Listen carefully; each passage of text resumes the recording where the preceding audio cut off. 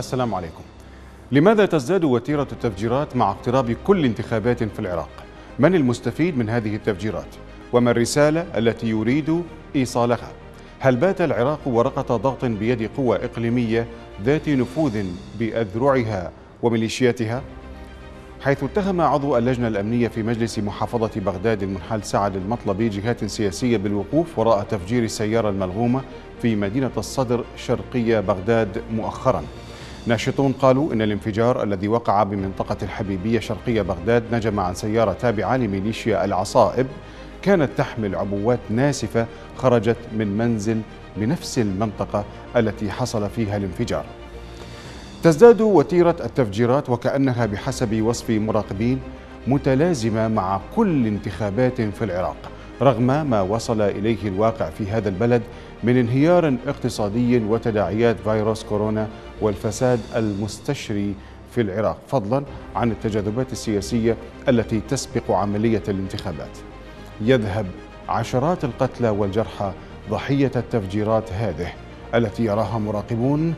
تقف وراءها جهات سياسية ميليشياوية تحاول تحقيق مكتسبات على حساب دماء الأبرياء لتبقى متحكمة بمقدرات العراقيين. نشاهد هذا التقرير ثم نبدأ بالحوار. كونوا معنا.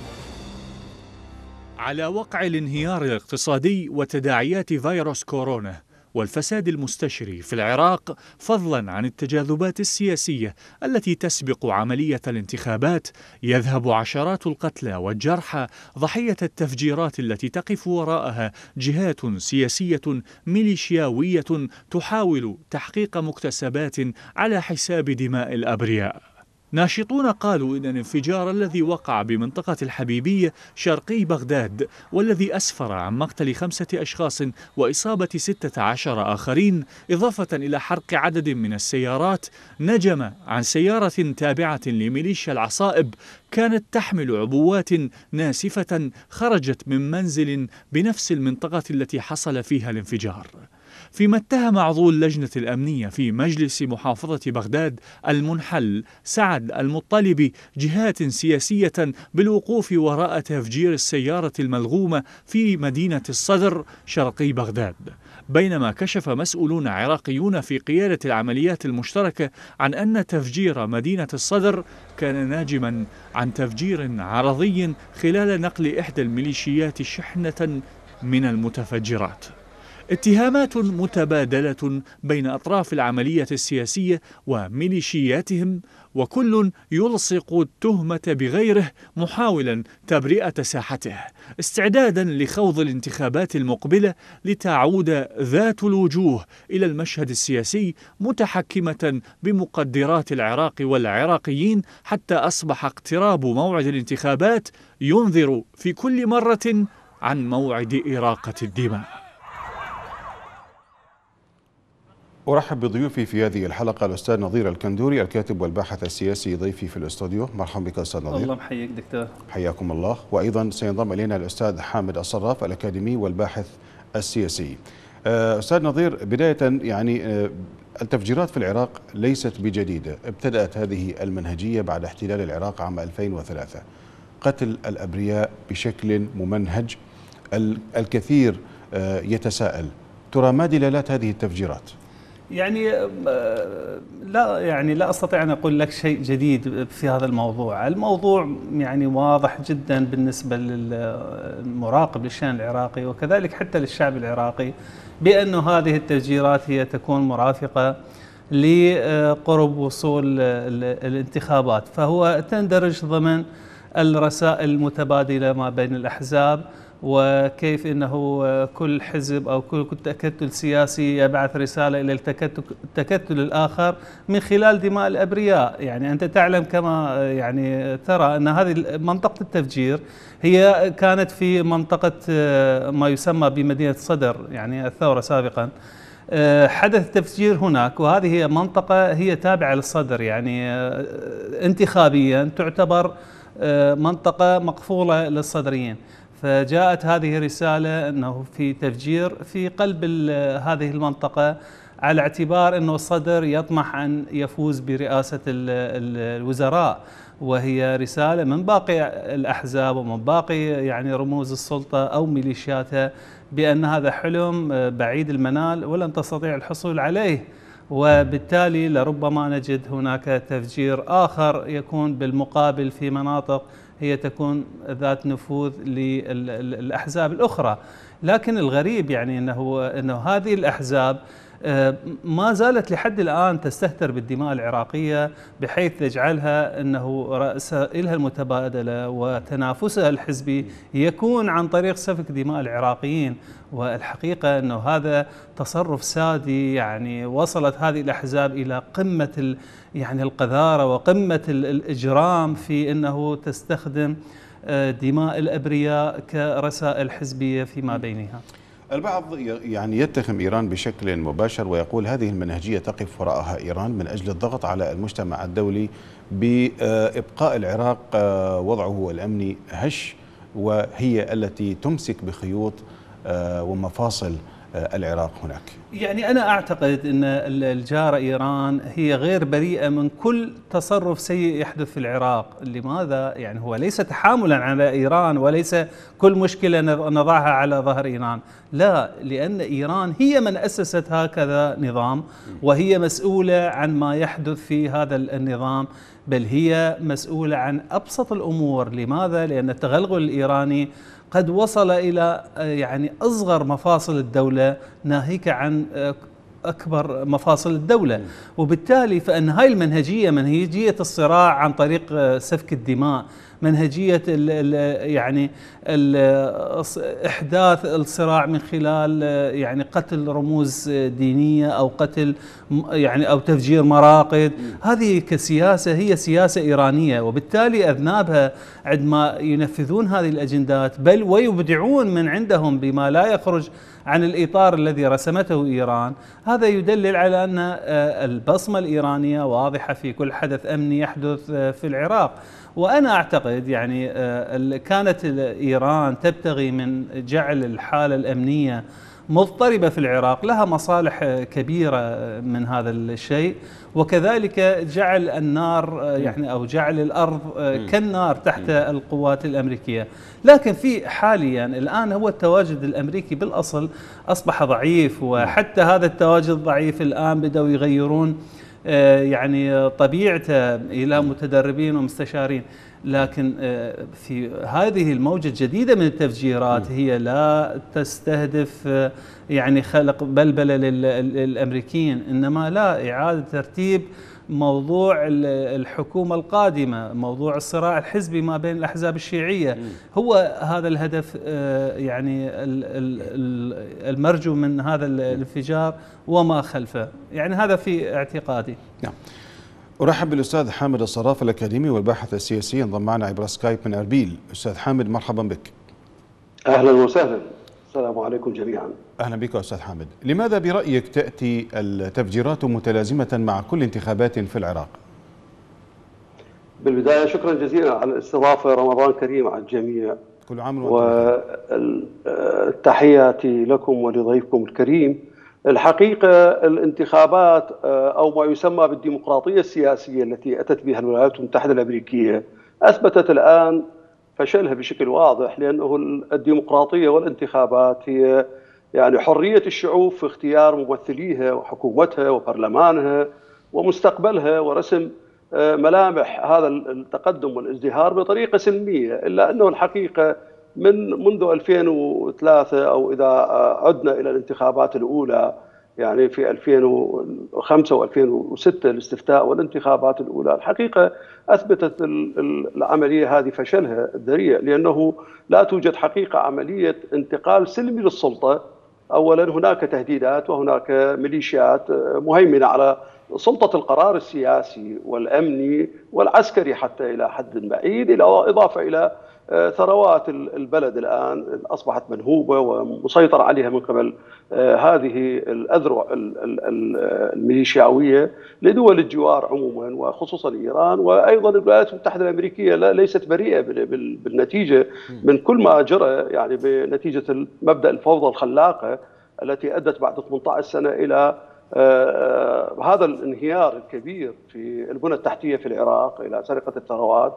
الحقيقة التنافس هو تنافس شديد. تنافس ليس يعني بإرادة عراقية. مع الأسف الشديد نقول أنه هناك قرارات هناك سلطة قرار خارج الحدود هي التي تلعب لعبها لعبتها الحقيقية التخريبية الآن. نتيجة أيضا منافسة ونتيجة أيضا مفاوضات. إقليمية دولية. نشوف أن الملف النووي الإيراني الآن يعني اعيد على طاولة المفاوضات بطريقة أربعة بدل خمسة زائد واحد. هذه قضايا الحقيقة بها سباق نحو تحقيق بعض النقاط آه، طرف على طرف آخر. والضحية هو بالنتيجة الشعب العراقي. لا آه، قادر أن يختار ممثليه في البرلمان ويختار حكومته اللي تتمثل طموحه ولا قادر يستقر لأنه الميليشيات تعبث بمخازن أسلحة الآن وعتاد آه، امتلأت على آخرها في مناطق سكنية. الآن أيضا آه، نشوف سلطة القرار العراقي أيضا آه، صودرت لأنه المستوى المعاشي في العراق الحقيقة هابط جدا ولذلك تطويع بعض الشباب بشكل أو بآخر نتيجة الحاجة الماسة إلى استمرار الحياة، نتيجة أيضا غسل أدمغة بعض الشباب في قضية طائفية مقيتة لم تأتي بخير على العراقيين. هذه الحقيقة هي يعني آه، لمحة سريعة على كل ملخص ما ما يجري الآن بالعراق،. الانتخابات فاشلة بدليل أنه ما جرى خلال خلال الانتخابات الماضية أربع انتخابات وهذه الانتخابات اللي يفترض أن تكون مبكرة. وأنا أشك في أن تجرى في موعدها نتيجة هذه الأوضاع، كلها أثبتت أن هناك تقاسم للسلطة والمغانم، هناك محاصصة مقيتة، لا لا توجد هنا لا توجد في اختيار حر وعادل ونزيه لممثلي الشعب من قبل آه، العراقيين. عزوف عن المشاركه بالانتخابات 20% كان هناك أو أقل من 20% مشاركة في الانتخابات اللي جرت في أيار 2018 فماذا ننتظر من هذا النتائج نعم. الآن؟ سوى أنه تصعيد آه، حدة التوتر وحدة الصراع على على السلطة. نعم. آه، ابقى معي لو سمحت دكتور حامد الصراف. سأعود اليك مرة أخرى. أستاذ نظير عندما كانت تحدث التفجيرات منذ آه، يعني آه، لو نقل قبل عدة سنوات آه، تخرج تظاهرات من من الشعب مطالبة بإعدام معتقلين. طبعا هي بتحريض من قبل أحزاب السلطة. يا ترى البعض يتساءل ماذا لو يعني نعمل مقارنة ما بين ما يجري الآن من تفجيرات بحيث يخرج جميع آه، المتظاهرين من الشعب منادين بإسقاط النظام وكذلك متهمين الصدر ومتهمين قيس الخزعلي. آه، لو لو عملنا مقارنة مع ما جرى في السنوات الماضية من إعدام أبرياء دون محاكمة بدعوى أنهم من يقف وراء هذه التفجيرات كردة فعل انتقامية. كيف كيف تنظر إلى الحالتين؟ صحيح نعم. يعني هي ملاحظة في غاية الدقة وأنا يعني يعني أتحدث وأنا فرحان جدا. لماذا؟ لأنه دلالة على أن الشعب العراقي وخاصة الشباب منهم وصلوا إلى مرحلة من الوعي بحيث لا تستطيع هذه الأحزاب أن تمرر أكاذيبها وفتنها إلى هذا الشعب العراقي. يعني آه، تخيل أنه بعد ما حدث التفجير بعد ساعات من هذا التفجير خرجت تظاهرات شبابية في نفس المنطقة. تنادي بسقوط الأحزاب وتنادي سلبا بالصدر وبقيس الخزعلي وبحركة النجباء وغيرهم من الميليشياويين. يعني ألا تستغرب؟ يعني هذا الأمر لو حدث قبل مثلا ثلاث سنوات أربع سنوات لما كان لما كان هذا رد الفعل. لكان رد الفعل آه، مباشرة سيكون طائفي وبدفع من هذه الأحزاب. لكن الأحزاب الآن فشلت في حتى خلق فتنة طائفية جديدة التي كانت يعني تحدثها في قبل كل انتخابات. وحتى أن يعني أمروا داعش بأن تصدر بيان بأنه هي المسؤولة على آه، هذا التفجير. ومع ذلك لم يحرك شيء عند هذا آه، الشباب العراقي. الآن هناك صحوة عند الشباب العراقي صحوة في آه، صحوة وعي صحوة فكر.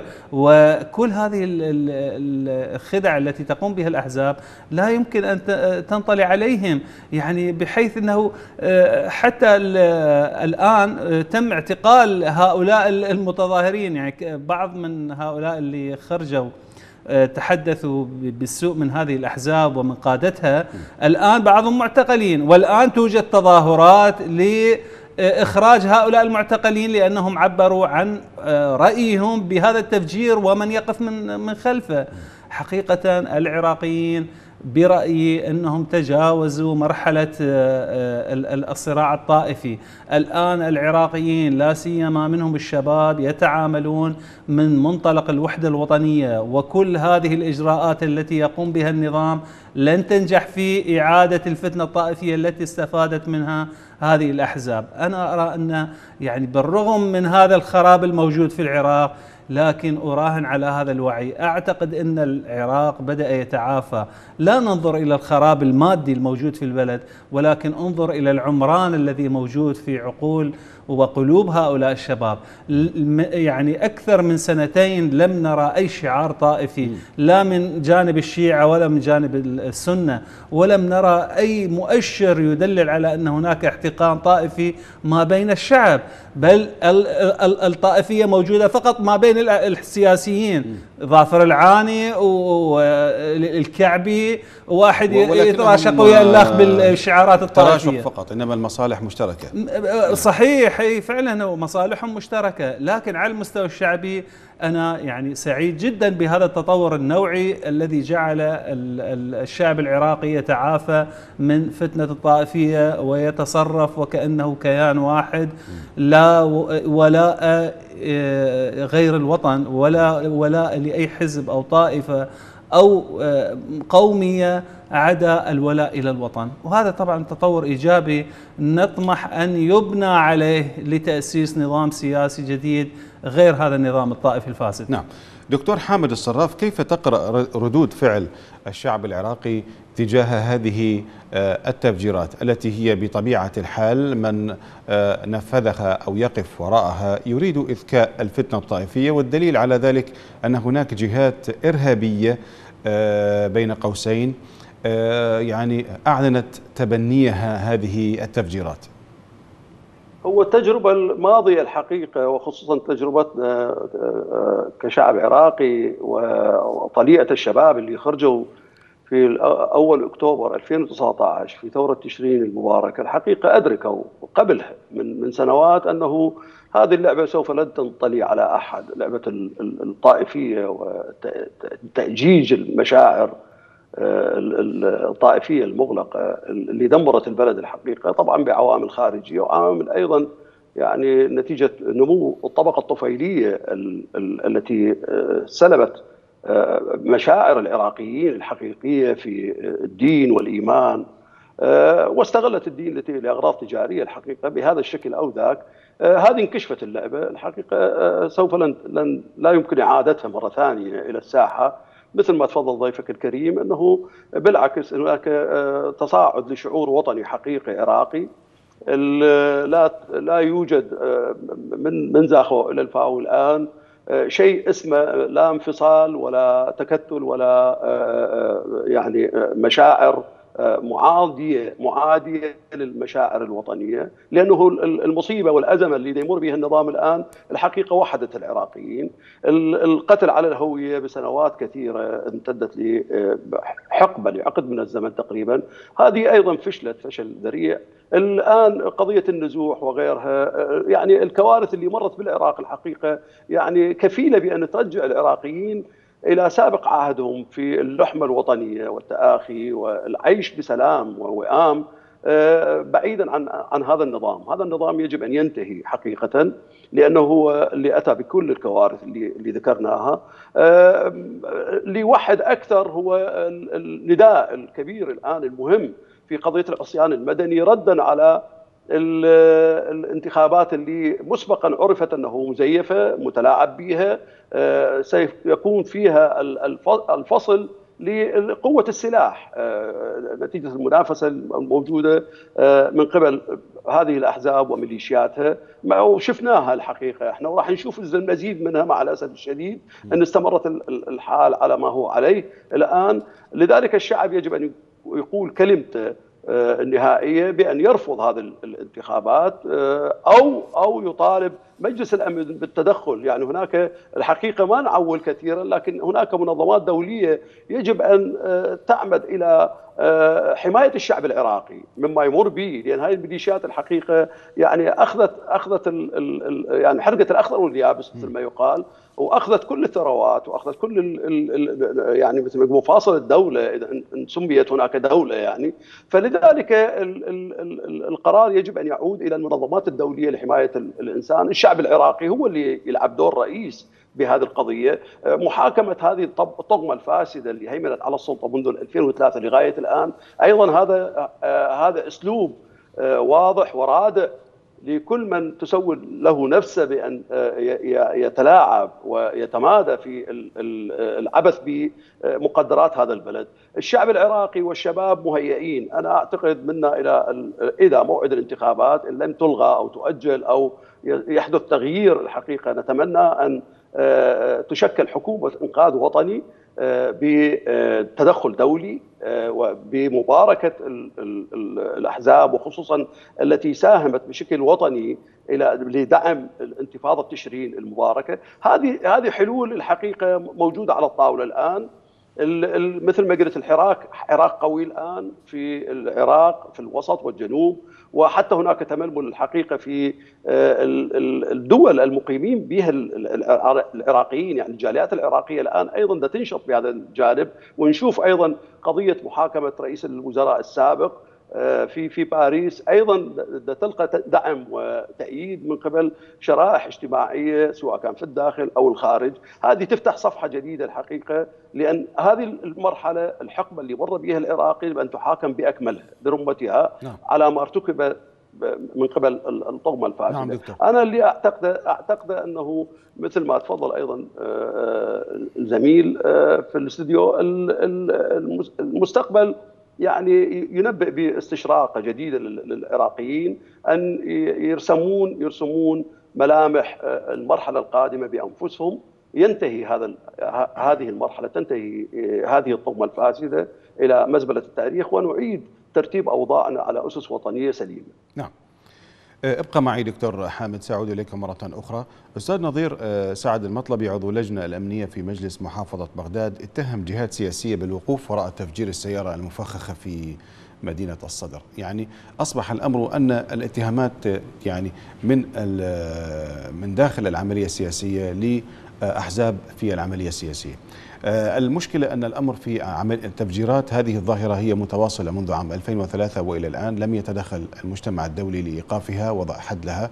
ولكن في الآونة الأخيرة خصوصا بعد ثورة تشرين هناك حديث متوالي ومتواتر عن ربما يحاكم المتسببين بقتل المتظاهرين لاحظنا مؤخرا أن هناك حديث عن محاكمة رئيس الوزراء السابق عادل عبد المهدي في باريس.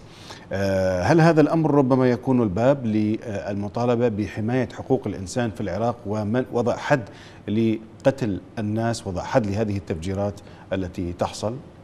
يعني أنا أرى تصريح هذا السياسي حول تحميل المسؤولية إلى بعض الأطراف السياسية هو لم يأتي بجديد. هو الشعب العراقي جميعه يعلم بأن هذه التفجيرات مسؤولة عنها أحزاب سياسية ولا علاقة يعني لأول مرة الإرهاب بريء من الإرهاب. يعني لا علاقة لداعش ولا إلى علاقة إنما هي صراع ميليشياوي. صراع ما بين هذه الأحزاب تحضيرا للانتخابات القادمة. هذا الأمر ليس بجديد. منذ 2005 وحتى الآن التفجيرات حتى حتى كل انتخابات حتى التفجيرات الإرهابية هي كانت لمصالح سياسية م. يعني سواء كان تنظيم القاعدة أو تنظيم داعش أو الميليشيات التي هي بالعلن توالي هذه الأحزاب والأحزاب توالي إيران. كان الصراع بينهما على المكشوف والمصالح. هي مصالح سياسية. يعني إذا أنت كنت تريد أن تسقط منطقة سنية وتحدث تغيير ديموغرافي لكي ترفع رصيدك الانتخابي ماذا تفعل؟ تأتي بعصابات من تنظيم القاعدة والآن أصبح تنظيم داعش. تضرب مناطق شيعية من آه، انطلاقا من مناطق سنية وبالتالي يكون مبرر للميليشيات بالدخول إلى مناطق السنة وتهجير آه، يعني أهلها من هذه المنطقة، يعني كان هذا السيناريو معروف ومتكرر من يعني طيلة 18 سنة. والآن ما يحدث الآن في حزام بغداد نفس الحالة. الآن أصبح فرية جديدة اللي هي إقامة مشاريع. يأتون بتهجير بعض سكان القرى والعشائر بحجة أنهم لديهم مشروع استثماري كبير يحتاج إلى آلاف الدونمات وهذا يعني شكل جديد من التغيير الديمغرافي.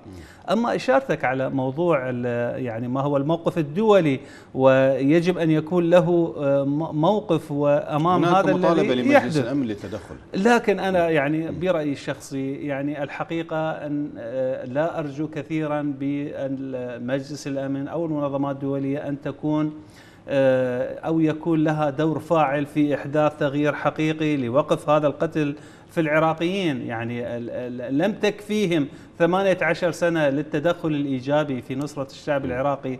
الآن ممكن يتدخلون. أنا أعتقد مجلس الأمن يعني أو أي منظمة دولية هي عبارة عن مساهمات للدول الكبرى فيها. وهذه الدول الكبرى إذا لا تجد مصالحها في العراق تتحقق من خلال تدخلها فهي لا تتدخل. يعني ولتسفك الدماء العراقيين. ماذا ماذا سيهم الولايات المتحدة؟ ماذا سيهم سيهم روسيا أو بريطانيا أو الصين؟ لا يهمها شيء، لكن إذا تضررت مصالحها هو هذا ما, ما, ما يهم هذه الدول، وأنا يعني أوجه خطابي إلى شعبنا العراقي، الحقيقة أن التغيير في العراق لا يقوم على أيدي أمريكية ولا صينية ولا روسية، التغيير الحقيقي هو بأيدي شعبنا، بأيدي شبابنا، وحتى يعني شلت القول بأن لا يوجد تغيير ثوري في بلد ما إلا وكان له مساندة خارجية. وأنا أقول هذا إلى حد ما جزء من الصواب. ولكن كيف تفرض على دول العالم أن تتدخل لنصرتك؟ من خلال العزف على مصالحها. ومصالح هذه الدول يكمن بما لدينا من موارد. يعني الشعب العراقي إذا ما فكر في قطع الإمدادات النفطية على العالم برأيك كيف سيكون السوق العالمي النفطي؟ كيف سيكون رد فعل الدول المستهلكة لهذه المادة الحاوية. تسمح الولايات المتحدة بجيشها وقواتها أن يقوم الشعب العراقي بضرب المصالح سيقوم سيقوم أخي الكريم. يعني لا ننظر إلى ال إلى ال الأمريكان كبعبع كبير. من الذي يتحكم بالمشهد في العراق أصلا؟ يعني أنا أقول لك يا أخي القوات الأمريكية بعظمتها يعني وبقوتها وصلت إلى أكثر من 150 ألف جندي في فترة من الفترات داخل العراق وكانت المقاومة تدخل فيها وتقتل فيها. والآن يعني كم كم أمريكي يوجد؟ لا, لا يتجاوز العدد 2500 جندي آه، وهم كما يقولون يعني مهامهم مهام استشارية. يعني التواجد الحقيقي الأمني في العراق تمسكه الميليشيات والميليشيات لا تستطيع أن تصد إرادة الجماهير، الجماهير قادرة على فعل كل شيء، ولكن أنا أقصد أنه يجب لهذه الجماهير أن يكون لها آه، بالإضافة إلى هذا الوعي الذي تحمله يجب أن يرافق وعي سياسي وعي استراتيجي يعرفون كيف آه، تقطف الثمرة. يعرفون من أين تؤكل الكتف. كل هذه التضحيات التي يقوم بها شعبنا وهي يعني محل تقدير واحترام من من جميع العراقيين ومن جميع العالم. ولكن إذا ما استثمرت آه، بشكل سياسي محنك يستطيعون الوصول إلى الاهداف التي يريدوها بأقصر وقت وأقل تضحيات. يعني لو وجهوا آه، جهودهم في في منع تصدير النفط العراقي لو وجهوا جهودهم في قطع المعابر الحدودية مع الدول المجاورة لاستطاعوا الوصول بهذا النظام إلى مرحلة الشلل ومرحلة السقوط. هذه الملي... يعني أنا أوصف النظام العراقي هو عبارة عن مجموعة من العصابات تبيع النفط ثم تقتسم الأموال.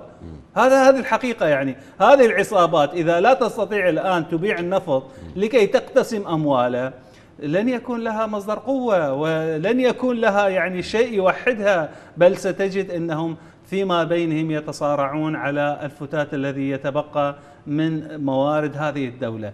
أنا أتمنى من شبابنا ومتظاهرينا أن يكونوا أكثر حكمة في توجيه آه، ضرباتهم لهذا النظام. في توجيه تظاهراتهم في الحملة المعنوية التي يرفعون بها يعني معنويات الشعب العراقي وحثه على الخروج والتظاهر والوقوف أمام هذا النظام آه، الفاسد. نعم. أستاذ دكتور حامد الصراف آه، البعض يقول بأن العراق الآن ومنذ 2003 هو واقع ما بين المطرقة الإيرانية والسندان الإيراني آه، والسندان الأمريكي آه، إلى أي مدى ترى أن يعني مراحل الخروج من هذا من هذا النفق من هذه الأزمة المرعبة التي أودت بجميع القطاعات في العراق من قطاع زراعي وقطاع صناعي وكذلك حتى قطاع النفط والطاقة الذي أصبح بيد الميليشيات وعمليات التهريب وما يجري في العراق من اختناق اقتصادي. إلى مدى ترى أن الحلول هي بيد الشعب العراقي فعلا؟ الحقيقة الأزمة الاقتصادية والأمنية والعسكرية وحتى الأزمة السياسية النفسية الآن والتفكك اللي يعني جمعهم جمعتهم أمريكا آه، قبل 2003 في مؤتمر لندن ومؤتمر صلاح الدين.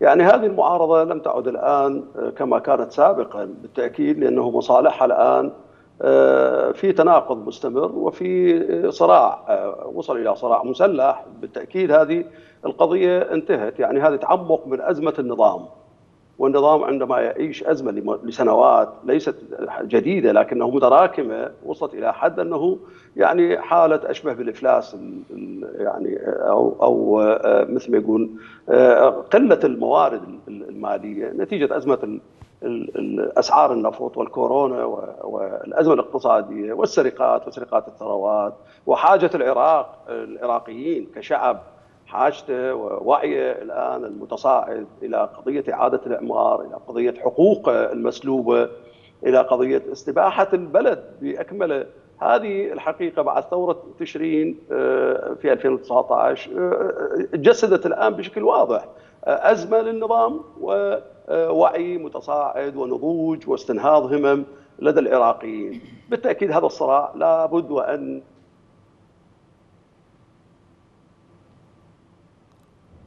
إذا هناك مشكلة في الاتصال مع الدكتور حامد الصراف إلى أن آه، يعني نعاود الاتصال بالدكتور مرة أخرى على شيء بشكل جيد.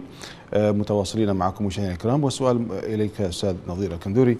آه، فيما يخص موضوع التفجيرات ودلالاتها وهناك دعوات إلى اعتصام شعبي من أجل وضع حد هذه المهازل في العراق من اختناق اقتصادي من تأثيرات كبيرة يعني لنأخذ الجانب الاقتصادي والجانب الأمني أه، نعم أنا سمعت أنه أعتقد سيكون هناك تظاهرات كبيرة في يوم 25 خلال هذا الشهر نعم. ويعني هذا ليس مستغرب يعني لأن ثورة تشرين الحقيقة هي ما زالت مستمرة ويعني أعتقد أن يعني ثورة تشرين لا تتمثل بأنه وجود مجاميع من الشباب آه، في ساحات معينة من من ساحات الوطن. الثورة الحقيقية ثورة تشرين الحقيقية هي ما أحدثته في طريقة تفكير الشاب العراقي في طريقة العراقيين جميعا. ثورة تشرين خلقت الأمل بأن هناك إمكانية لتغيير الحال العراقي. من هذا الحال السيء إلى حال أفضل. هذا هذا الأمل وهذه القوة الموجودة في صدور الشباب لابد أن تثمر آه، في آه، يعني آه، يعني قابل الأيام. وأنا أقول يعني تواسيا مع شبابنا. أقول إن الثورات ليس يعني ليس امرا يعني طبيعيا أن تنتصر خلال أيام وتنتصر خلال ربما أشهر. ويعني في رأيي من الثورات التي تنتصر بهذا الوقت القصير ربما ستنقلب عليها يعني النظام السابق طيب. ويعيد آه، أستاذ نظير ماذا عن الموقف الأمريكي مما يجري في العراق يعني الأمريكيون عندما دخلوا واحتلوا العراق ودمروا البلد آه، كانت بمبررات ساقوها إلى العالم بنقل الديمقراطية و إحقاق الحقوق للعراقيين ترى بعد 18 سنة الآن دوامة التفجيرات مستمرة دوامة القتل مستمرة قتل الأبرياء ابتدأوها بقتل العلماء والنخب والآن عمليات الفوضى ونشر السلاح والفوضى الخلاقة هل ترى أن ذلك من ضمن سياق وأهداف الاحتلال الأمريكي؟ والله أنا قبل أيام آه، كتبت تغريدة وأعتقد يعني معناها قلت لا يوجد أغبى من الأمريكان سوى من جلبتهم لحكم هذا البلد. يعني الحقيقة آه، يعني الولايات المتحدة وطيلة هذه الفترة منذ الاحتلال وحتى الآن يعني ثبتت بأنها دولة غبية استراتيجيا لأنه هي كانت آه، من خلال احتلالها العراق تهدف لأهداف كبيرة وشرق اوسطي آه، موالي لأمريكا بالكامل ونقل تجربة ديمقراطية ستكون آه، بؤرتها في العراق وتنتشر إلى باقي البلدان. والذي حدث حدث إنهم سقطوا النظام السابق ثم قدموا هذا البلد إلى إيران لتحكمه وتستنفذ تستنفذ موارده.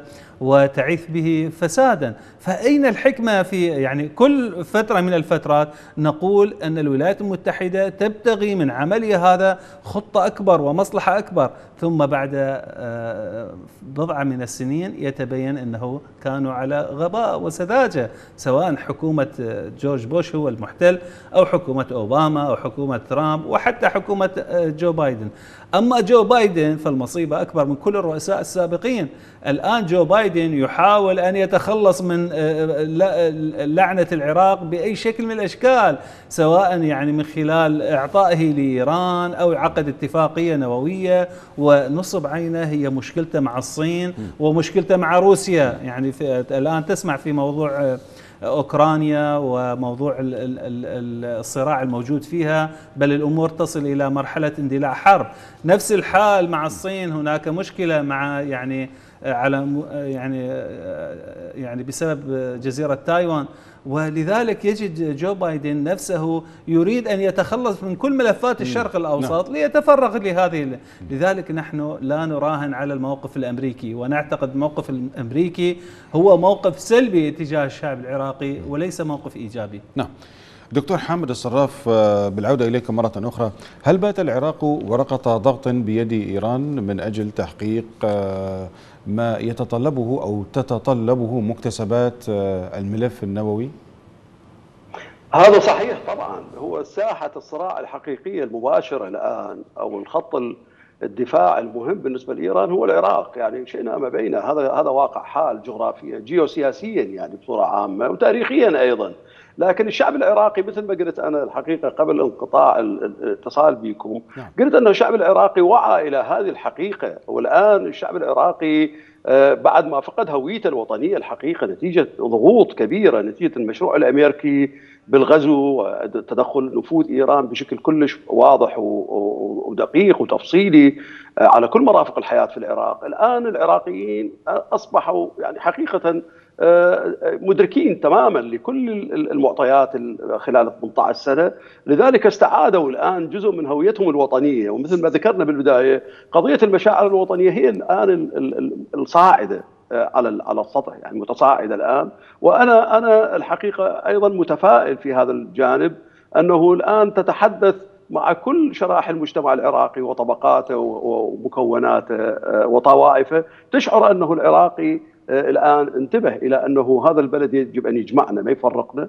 يجب أن يكون هناك فعلا وحدة وطنية حقيقية، يجب أن يكون هناك تآخي، يجب أن نخرج تماما من مأزق التلاعب بمقدرات بلدنا، يعني إذا كان من قبل الدول الإقليمية وإذا كان من قوى العظمى يعني أمريكا وغير أمريكا، لذلك أنا أعتقد فشل المشروع المشروعين الإيراني والأمريكي الآن قاب قوسين أو أدنى. فلذلك إحنا نركز على آه، هذه الحقيقة.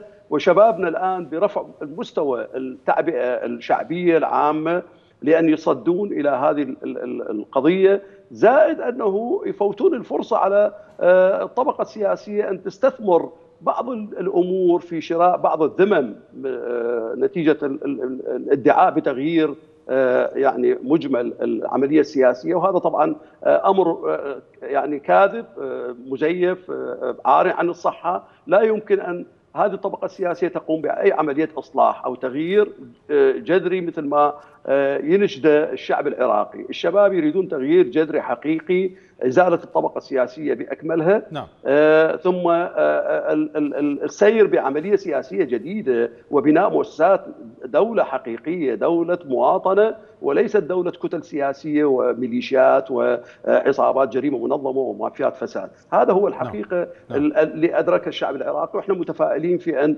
نسير بهذه الخطى حثيثا نحو تحقيق أهدافنا أهداف ثورة تشرين المباركة إن شاء الله. شكرا لك دكتور حامد. أستاذ نظير كيف تعلق في دقيقة واحدة؟